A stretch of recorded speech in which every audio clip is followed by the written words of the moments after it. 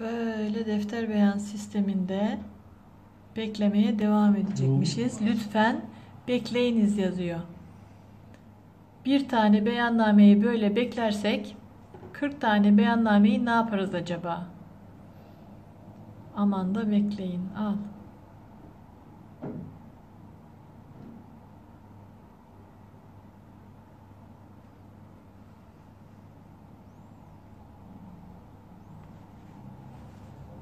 Defter beyan sisteminde bekleme nasıl oluyormuş?